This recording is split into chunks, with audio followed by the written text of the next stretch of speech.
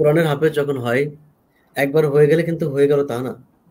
অনেকবার শোনাইতে হয়, একাধিকবার শোনাইতে হয়, তারপরে তার হাফেজি টিকে থাকে এবং তারপরে প্রতিদিন প্র্যাকটিস প্র্যাকটিস করতে হয়।